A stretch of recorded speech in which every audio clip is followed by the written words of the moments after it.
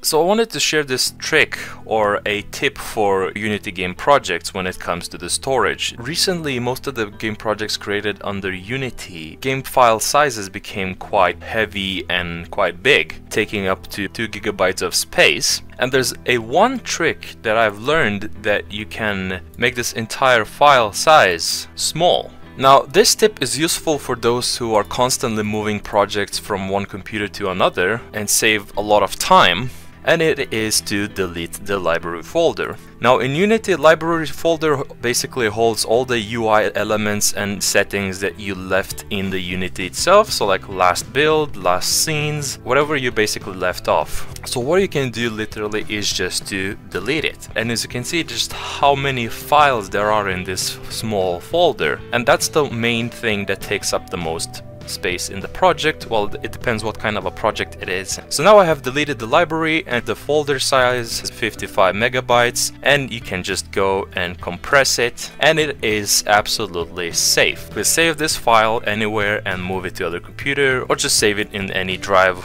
But once you get to another computer, just extract this folder back in place where you're storing all your game projects and then just re-add this same project in here like that and Unity will rebuild library folder so it will take some time. It could be up to five minutes or less or it could be more if you have a slightly weaker computer. Once you're gonna load your project you will be greeted with this empty windows. Don't be scared by that. All you have to do is just go to your scenes folder and just reopen any kind of scene and you will have all your stuff saved. Everything will be in place and it's absolutely safe. Nothing will be destroyed. All your add-ons and all your components uh, package manager assets will be saved. All the scenes are saved. Everything works fine. When you're deleting the library folder, just make sure that Unity and Visual Studios are closed and saved. And then you can just safely delete the folder and it will remove